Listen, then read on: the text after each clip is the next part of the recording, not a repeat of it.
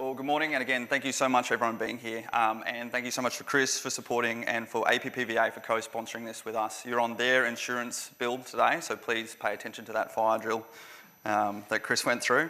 But first and foremost, thank you so much for everyone giving up what is the most valuable resource we have to give, and that's your time uh, in being here. Uh, and today, uh, originally, even I'll go into this a bit later, but even before I started really putting um, my back into uh, supporting the Royal Commission, my head was always thinking about the so what, what now, and what is needed um, if we do uh, are successful in a Royal Commission, how we can best support our people and how we can best maximise what is this once in a lifetime opportunity. And then during the progress uh, of setting up this conference, things like the direct communications channel to the Attorney General opened up. Uh, so there's this huge opportunity for everyone to provide their direct uh, correspondence into the Attorney General, and I don't want to spend all of today talking about the terms of reference um, because this is the best part of this cultural change that's needed concurrent to everything else, is that uh, veterans need to start representing themselves better, need to start taking responsibility better, um, and that includes individual contributions towards the terms of reference on the Attorney General's website or any others, the DVA's, our own Voice of Veteran one that they need to um, as opposed to just talking about things and starting to take some action. But what I will run through now is what we did is we opened up a, uh, via the Voice of a Veteran website, a um, consultation opportunity for people to come in and provide their contributions. And um, overnight we have one more, but I'm not updating these. So we've had 640 responses. And what I want to go through is just to provide some of the data that has accompanied that. Per our privacy policy, I'm not going to share with you everyone's um, uh, inputs, everyone's uh, actual worded summaries and their personal details, but uh, we'll be able to capture some key themes and I'll go into some general explanations of those later. But there's a lot of um, data that we specifically set up this form to best help us uh, think about those. So what, what now? And that's the theme for today I'm going to have is so what, what now? And up on the board here, because um, I love drawing things very badly, I have opportunities and threats slash risks. Everyone's probably done a SWOT analysis, strengths, weaknesses, opportunities, threats.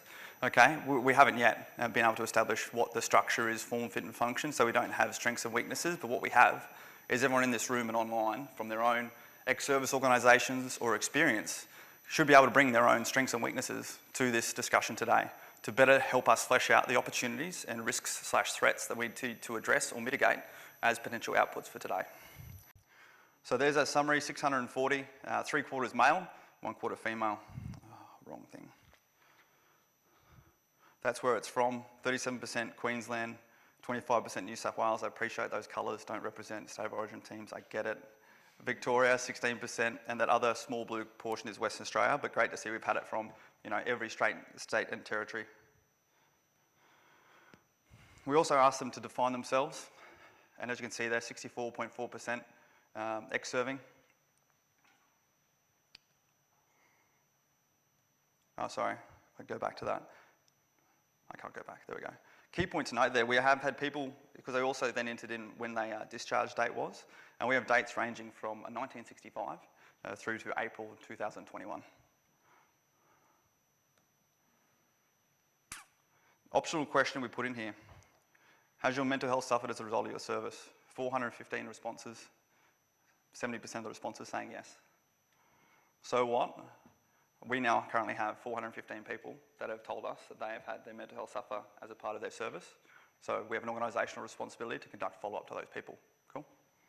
And that's what I'm talking about, voice of a veteran. But obviously that's some great demographic. We even asked them further, these are optional questions. Have you experienced any of the following? Attempted suicide, contemplated suicide, admitted for mental health, diagnosed with mental health issues, struggled with mental health issues but self-manage, and no issues with mental health. Again, so what, what now? Part of the key part, and I'll go into later with Voice of Veteran, is we've been focusing so much on the, the suicide number. We all know um, that is the ultimate um, lag indicator of mental health decline. And again, we have some great data we're starting to get here that is our responsibility to follow up these people with understanding and empathy to what their circumstances are. What area do you believe should be the greatest focus of the Royal Commission? This was a multiple choice, you could select multiple. Um, I don't think that there are a lot of surprises there. Department of Defence, DVA, ex-service organisations, and ADF transition process. Optional questions, members of ex-service organisations. A key point to note, went through the grueling task of differentiating all the ex-service organisations and over 160 Um, different organisations are represented in those responses, ranging from national, state, local, and all forms of associations. And this is the key point again. The submissions are still open, I believe, until the 21st of May. Um, so important for anyone who still has submissions to please now go direct to the Attorney General. Um, the whole point of us conducting this consultation through Voice of the Veteran was actually before you were able to go direct to the Attorney General, given the response we had from a large part of the veteran community that were unwilling to engage with DVA. And as I've said openly and honestly, it's not about us versus them, it's about getting the maximum amount of information to the Attorney General's Department to best inform this process. All right, what I'm going to go through now um, is this is all from the Attorney General's website. The first five questions just go through uh, demographic information to um, clarify who's providing the response. And then there are three questions, questions six, seven, and eight. Question six discuss the proposed themes the Royal Commission will consider during its inquiry. And we've just broken this down into some of the key, again, summaries, uh, and these are just summaries, but the overall response, um, sorry, a large number of the responses really went into granular detail, trying to discuss specific issues that the Royal Commission should cover into. And then there were a lot more that wanted to take that step back and actually be less, less prescript in what we provide the Royal Commission requirements in terms of reference to do, so as we can potentially finally have that fresh set of eyes um, opinion and not have them go funneling only into these areas to maintain maximum flexibility for um, the Royal Commission to be able to see what it needs to do. But of particular note, some key terminology and points that came out and when we're talking about systemic issues and analysis of the contributing risk factors relevant to defence and veteran death by suicide, the need to expand that behaviour, not being death by suicide, but even suicidal behaviour, mental health decline, and also not just discount any isolated incidents for the, for the um, expectation that they don't include a systemic that's a bit of a chicken or the egg, but it's important that that's been a key information conveyed and we're just relaying that to you today. The next part, the protective and rehabilitative factors for defence members and veterans who have attempted or contemplated suicide or have other lived experience of suicide. And the need to include families and also expand the definition of families to include support networks for those who don't have those immediate families.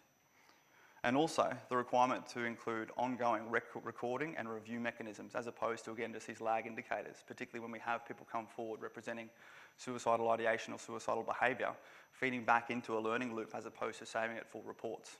You know, the so what, what now, what activities and actions are we doing as a result of this information, as opposed to simply capturing it in the um, health and wellness uh, report released each year. The engagement of defence members and veterans within Commonwealth, state and territory governments around support services, claims and entitlement, and the need to expand that to not just be government but non-government. And this is one key phrase we're going to keep hammering on. The WOVL, the whole of veteran life. Cradle to grave, all these conversations are coming through, we all know, the whole of veteran life. Um, it, it really is a life, it's not an employment, and that really need to focus on all those factors that come from every form of government agency and non-government agency to our families and our networks and ourselves,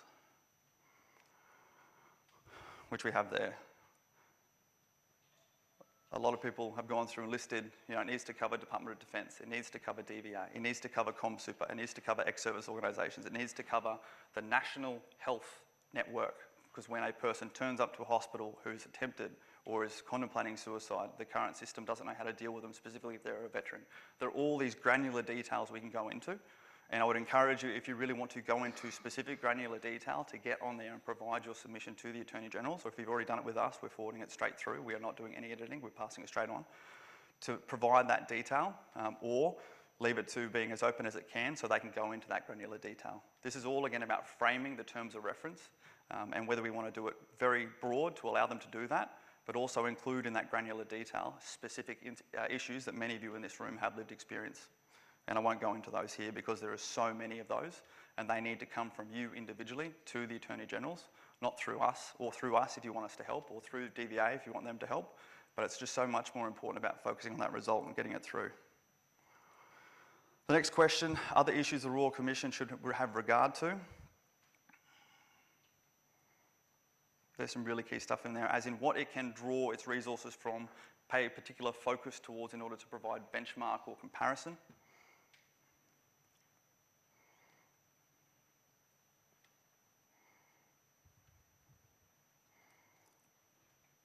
Oh, maybe not.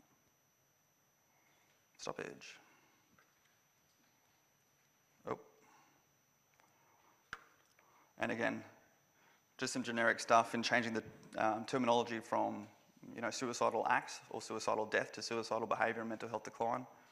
And again, encompassing this WOVL whole of veteran life. Another key consideration that's come out is a lot of discussions regarding whether there needs to be a timeline imposed of this. Um, again, some of them were very prescriptive, wanting it to be beyond 2001, because that's been a common conversation in the media. And from what I believe, I know that uh, Traci and we'll go into it later, there will not be a likely timeline in placed on this unless it's determined by the Attorney General's Department themselves. But I'll let Traci-Ann talk about that more. How will the Royal Commission conduct its inquiry? This has probably been the biggest area that we've received the most um, very emotive responses and very direct responses. And I just want to break this down on the next slide into specific areas.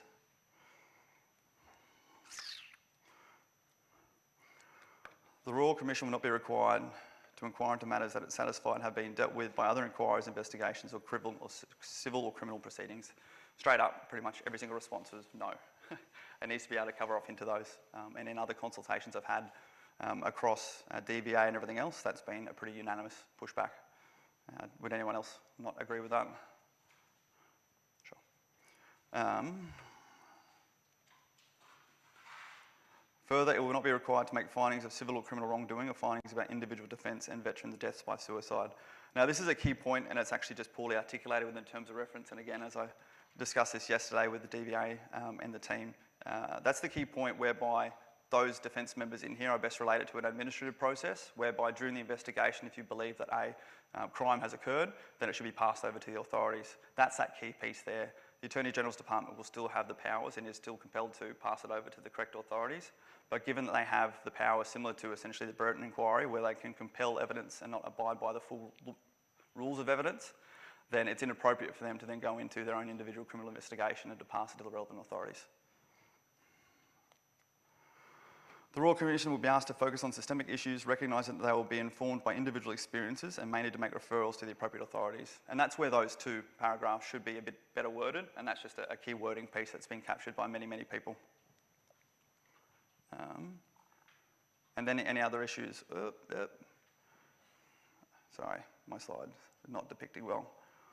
A key paragraph in here, and this has been on advice from a whole bunch of people, um, all with SCs and QCs, and Jacqui Lambie's team has been doing a great part on this as well, including something within the terms of reference, just like a simple statement saying that they have the ability to expand their own terms of reference as required. Again, with the intent to really try and provide them with maximum flexibility uh, to be able to cover off on this.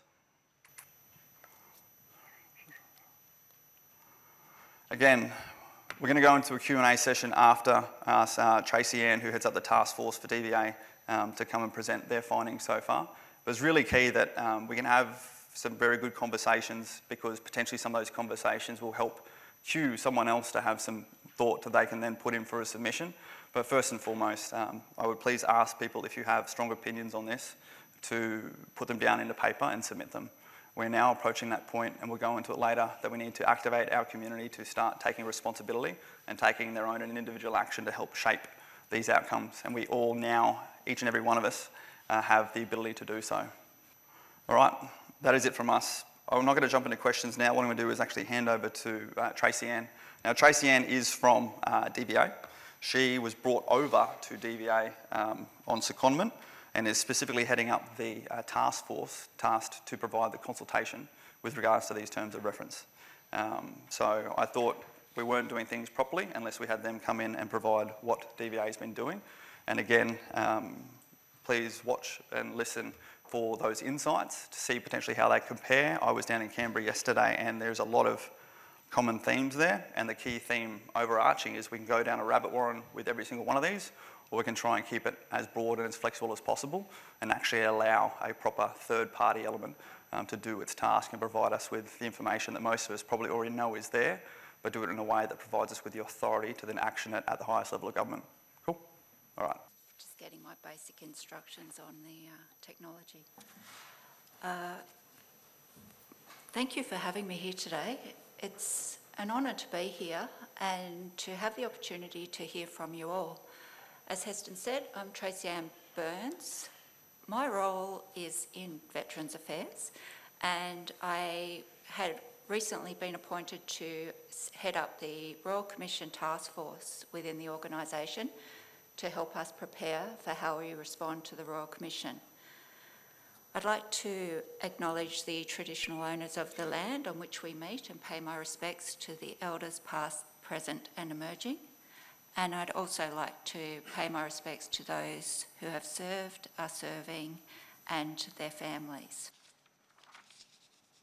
As you're aware, uh, DVA has been involved in the consultation and the uh, Prime Minister appointed uh, Minister Chester to lead that consultation. Not by way of defence but by way of explanation. Uh, it is normal for the lead department to undertake consultation to ensure that the avenues to make that consultation wide are explored and that is by way of promoting that the consultation is available. The uh, organisation obviously deals with a lot of our providers, academics, uh, the veteran community. We also uh, have a lot of uh, ex-service organisations and the people in this room. So through the existing networks, that is how the organisation reaches out to let people know that consultation is occurring. That said, after two weeks, uh, it became very clear that parts of the community were not willing to submit their feedback to DVA, and uh, the Attorney General's department worked with us to establish an alternate pathway. So, uh, as you're aware, that is now in place. We've, between the two departments, uh, there are now over 1,200 uh, submissions that we've received and uh, we expect that to grow exponentially, especially once Heston sends through his 600, because uh, I don't believe that they're counted in the AG's numbers as such. So, uh, interestingly, our themes, these are some, uh, an extract, not all of them. They're quite broad, as you would expect, given the nature of the group and the breadth of people that are providing feedback on the themes, and they vary quite widely. Uh, we are hearing the same thing as Heston presented, and they do vary from the fact that the terms of reference should be very broad to the fact that they should be very narrow uh, so that the Commission can achieve a goal. We've also heard that they should be less of a checklist and that it should be outcomes focused. So what is the Commission to achieve and deliver as opposed to what should it look like, look at in delivering that Royal Commission. We have heard the same thing around the whole of life view and the need to look at systemic issues and be explicit around the suicidal ideation uh, attempts. Uh, we've also heard a strong it balances between a strong desire for accountability and to hold people accountable for decisions that have been made versus the need to focus on the future and what will prevent suicide going forward and the need to have a safe space for people to come forward with evidence and stories to enable that future to be possible. So, as Heston mentioned, uh, it's a resounding feedback that previous reviews and inquiries should be open to consideration and that the uh, inquiry should include families and intergenerational impacts and that that definition of families needs to be very broad.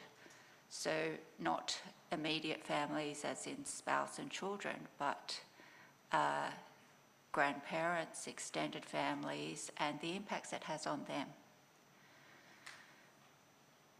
The need to, for the Commission or an organisation in some way to run alongside and ensure that the Commission is identifying the resources needed to imp implement findings in an iterative way uh, has been coming up. And this is about the need to take action now.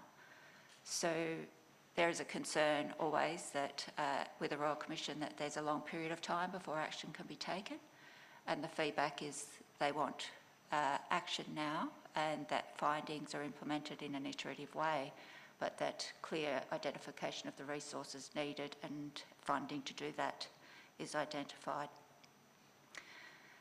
As uh, Heston identified, uh, it wouldn't be a Royal Commission into Veterans and defence members without uh, defence and DVA coming up in the feedback. A lot of this is around uh, DVA's processes and practices, culture in defence, uh, the practices around and culture around mental health when you're serving and whether it impacts your career, uh, your ability to be deployed. Transition is a big issue in the feedback. Medication and the need to consider where veterans sit in the broader context of society and international uh, practices and benchmarks. There have been questions around the role of the National Commission uh, with respect to Dr Boss today. Uh, it, uh, there has been a bit of confusion around how the National Commission might operate when the Royal Commission is operating. So uh, that's a matter for government to decide. The government has stated the National Commission will have a future focus. Uh, so that's come up a lot in the feedback. And I'll just touch on timelines, as Heston said I would. The feedback has varied a lot around what time frame the Commission should look at, and that uh, may actually be a decision for the Royal Commission. However, there's been a difference between the need to look very back a long time to see how this has emerged versus going back a shorter period to make it more effective and more contemporary. So the views on that vary quite widely. The next steps uh, for us uh, for in this process, uh, all the feedback that's coming in gets sent directly to Attorney Generals. To be very clear, we don't filter it, we don't change it, it gets sent as it is. This has been a matter of concern for people. And what DVA is not involved in developing the terms of reference. That's a legal document developed by the Attorney General's Department and it's formally known as letters patent. Because it crosses uh, state and federal boundaries, they're called joint letters patent uh, because this will run as a national commission, nationally. I don't want to confuse issues here, sorry. Uh, and then the Prime Minister will make a recommendation to the Governor General, and that will include who the commissioners might be. And it, I say commissioners, it's unlikely to be one, and it's likely to be an odd number so that if they disagree, there's a balance there. Just, uh, Heston asked just for a bit of a, a rundown on the powers of a Royal Commission. The, and DVA's role in that in particular, the Royal Commission itself will be entirely independent of government, defence, DVA, any other organisation that might be affected, uh, and it's established under its own Act of 1902. There are a range of formal hearings and the Royal Commission will decide itself on how those are conducted. They might be public, private, open, closed. Private sessions can offer families and veterans a chance to give evidence in a safe space. Uh, closed hearings can provide a way for people to provide evidence without being identified, uh, without their name being disclosed in final reports. So there are a range of ways this evidence can be provided. Um, they can summons witnesses to appear, uh, and certainly as a department, we can receive notices to provide uh, evidence or to produce. Uh, notices to give is more around uh, providing information and explanation, and these can be quite significant. So the role of the task force will be to ensure that DVA provides all of the information we have uh, to the Commission in a timely manner and that we provide that assurance that everything we have has gone.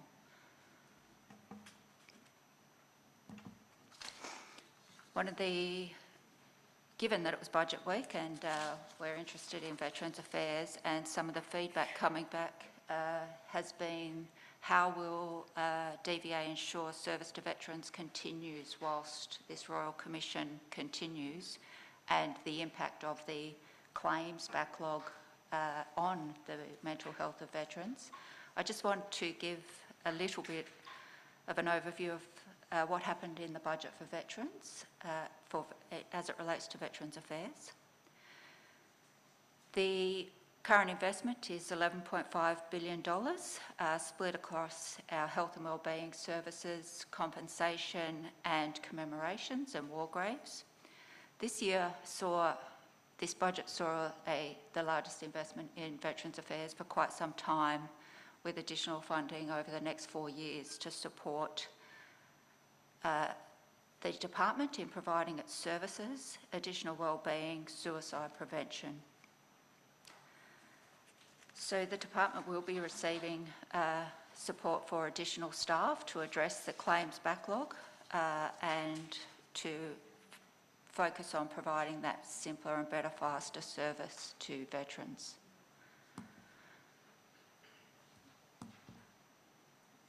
The detail of the budget and the measures that are included in this are available on uh, DVA's website if you are interested in what sits underneath this. There are an expansive number of measures and details, but as, as I said, just at the highest level, uh, the department is getting 300, just over 300 million for additional resourcing to try and support veterans and provide the services that are required.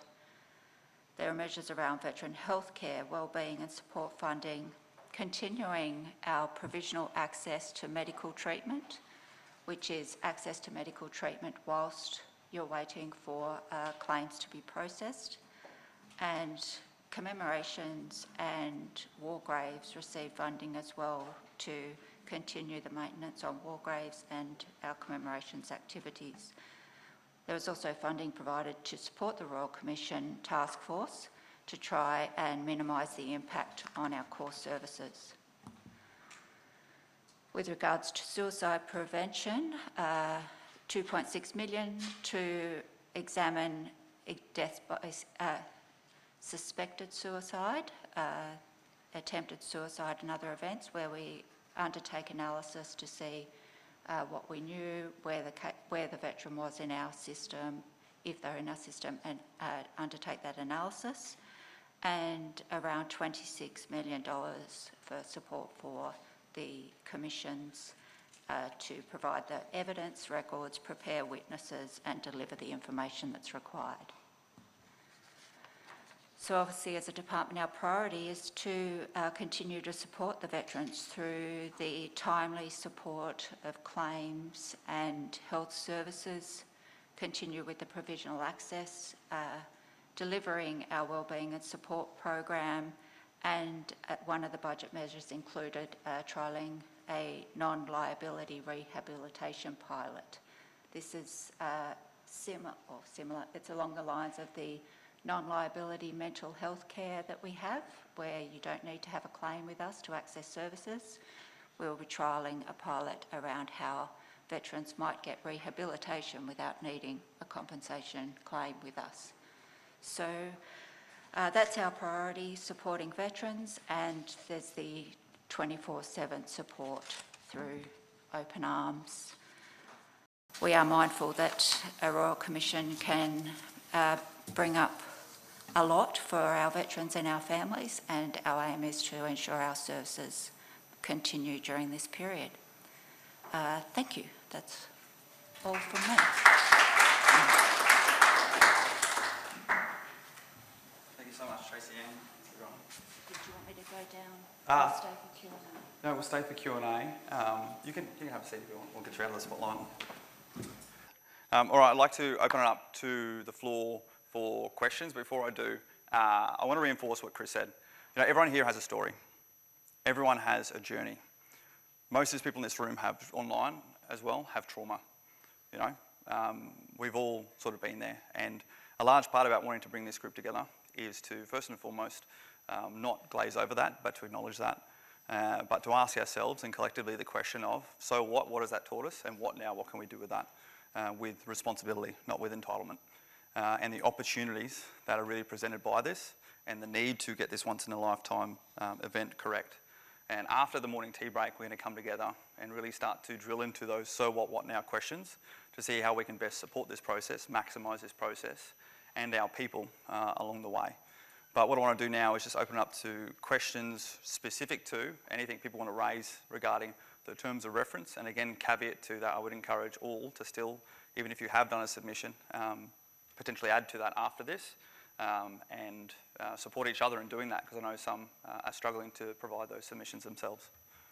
Cool. So by show of hands, any questions? Let's start with online.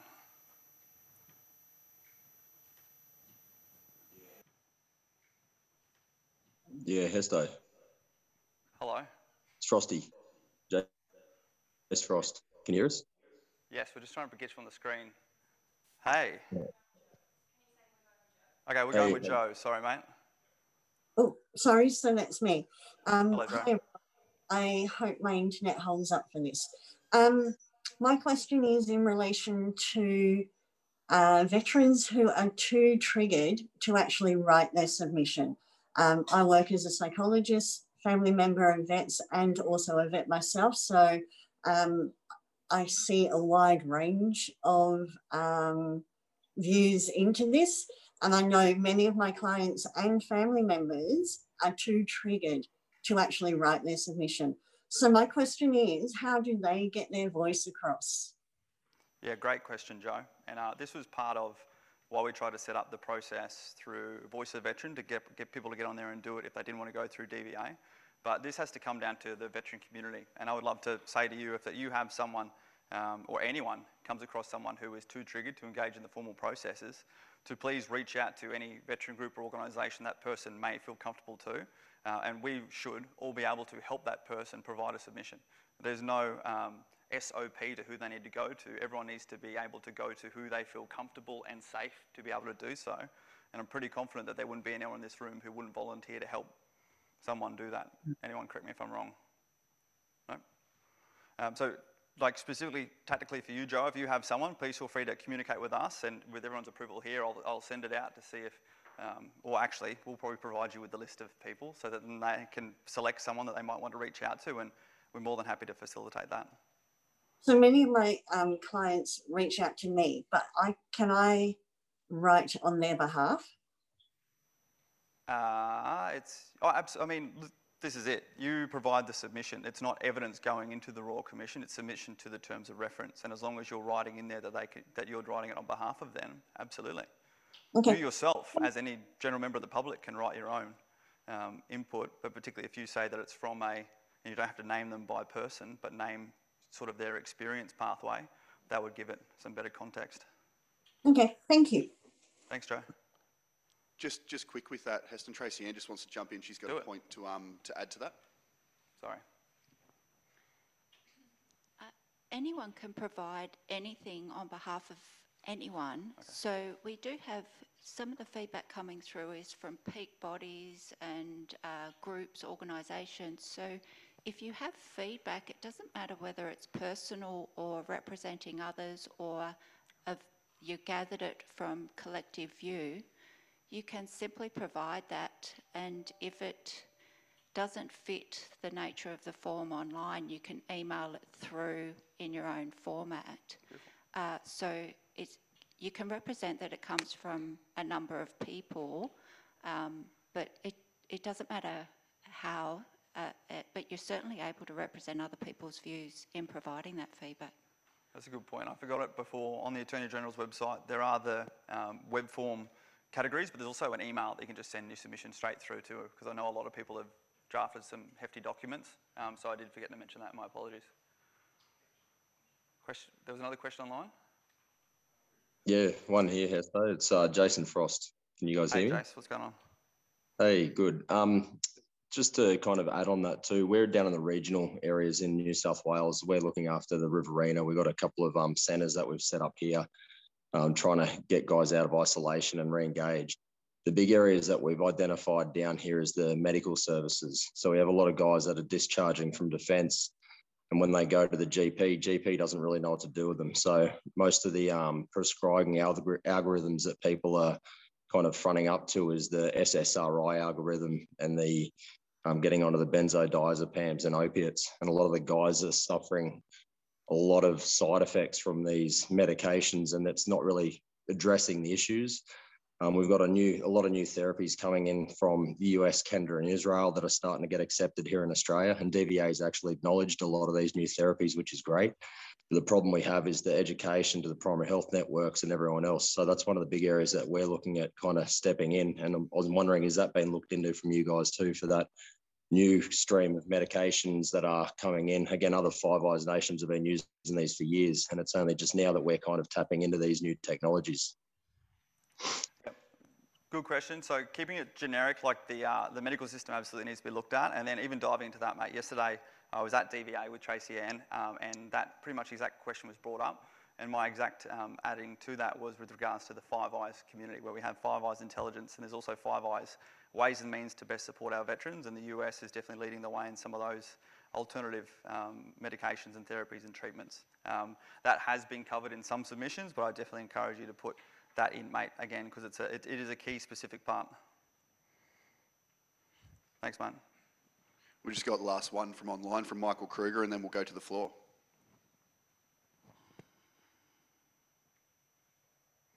Freddie. Sorry, just working out my technology. Um, hi guys, uh, thanks for having me.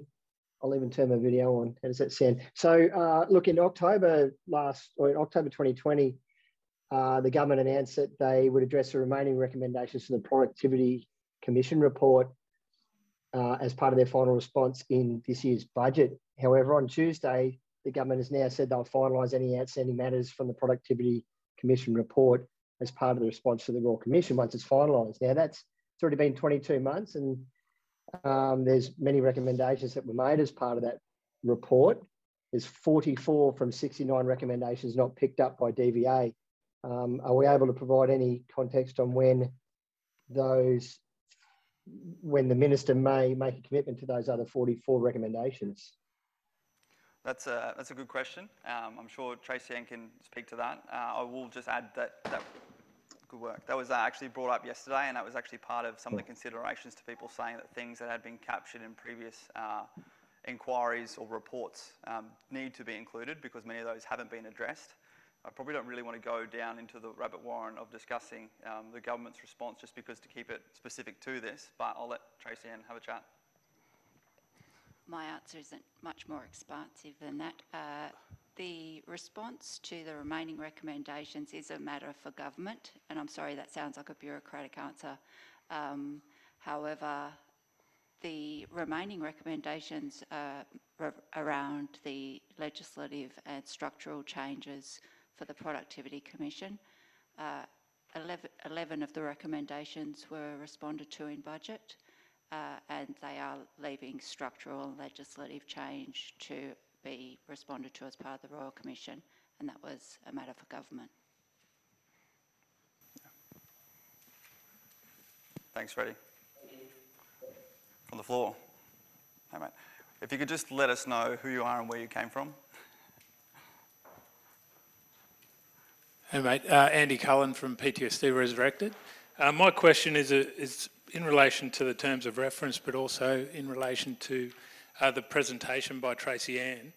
I was encouraged to see quite a dramatic increase there with the budget for DVA, because obviously there is a, a great need there. One of the areas we've been lacking in the past is support for uh, peer supported programs. And when you're talking about this whole of veteran life topic, I think this is an area that needs to be addressed. And my question really is, has there been anything identified within that new budget where there's a clear pathway for other um, support um, things that are available to veterans? For example, things like uh, programs addressing moral injury um, that are going to be available for consideration for funding. Some of this stuff that has proven medical backing and, and that sort of thing at the moment there, there, there, hasn't seemed to be any clear funding pathway yep. or opportunity to pursue that for government support. Sure. And Andy, I'm going to want you to grab that question and bring it up after morning tea. Um, because the whole discussion of the so what, what now, and exactly things like that, with the opportunities such as the budget, um, from my lived experience over the last six months, we can either wait for top down or we can build ground up policies and submit them for approval. Um, and that's one of the things that within this collective I want to try and do and allocate budget, budget and funding and have that go to people for submissions either through DVA or actually direct through the Department of Defence or direct through a senator to achieve exactly that. So um, there, look, there's a lot more to come out specifically on the budget, but what I want to do is to start even start shaping the mindset after morning tea for this ground up approach because we all have the lived experience. And I don't know about you guys and girls, but a lot of my own issues uh, came from sitting there waiting for top down to know all the answers that come from our own assumed experience. And all that I've learned over the last six months is that we energize that and apply that in a very focused way and understand the bureaucratic and political systems. You know, there's money there and resources to be had. We just need to give them a reason and compel them um, to provide that funding and support that. So let's make that an output from today.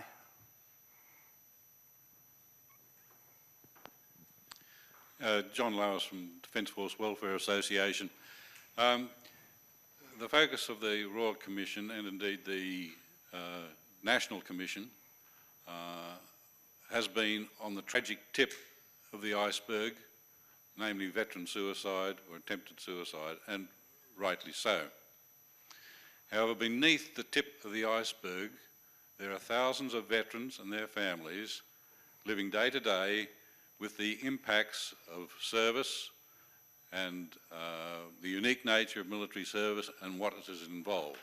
There is homelessness, there is incarceration, there are family breakdowns, financial difficulties, the difficulties with transition, uh, uh, dealing with various bureaucracies and that sort of stuff, which can lead to an ongoing miserable life, just struggling. And of course, out of that, there are some who tragically take a final step. But with the terms of reference for the Royal Commission, there are a lot which seems to predicate that the start of a line of inquiry is on a suicide or an attempted suicide.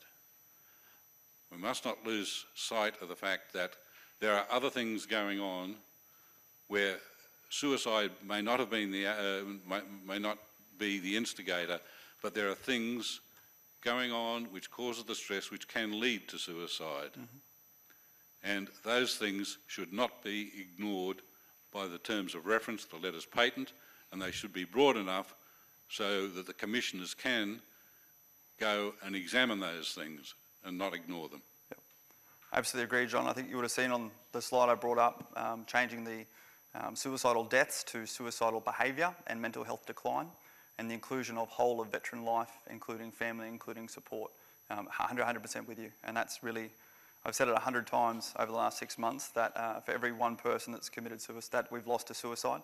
You know, there's another 10 who have attempted, another 50 who've contemplated, um, another 100 or 1,000 who are living with some form of mental health decline. And that is a whole rafter of issues um, from personal and professional lives that we need to uh, better articulate. And I think it's also key to note, and a key point that was brought out by um, one of the people yesterday at a conference I attended, is that uh, just focusing specifically on investigating um, suicides and backtracking as to how they occurred uh, is one method of inquiry. Speaking to those who've engaged with uh, suicidal behaviour or attempts is another. But then also um, in the manner of actually grabbing those people who have successfully transitioned and have not had mental health issues and actually mapping out the pathways and the successful pathways in their lifetime and looking to compare the two different ways to potentially identify key markers that can be integrated across those. I mean, not, that's diving into how things can conduct their investigation, but in particular, in potentially some of your responses after this, trying to put some more of those um, pragmatic and positive approaches because there's plenty in this room who have gone down and come back or who have never gone down themselves. And we need to capture that excellence um, as well as focusing on the systemic and critical issues. Any more questions from the floor? Okay, cool. I mean, we don't need to labour the point. Um, again, uh, as I said before, there's suggestion boxes in front of you if you want to write things down or put them in.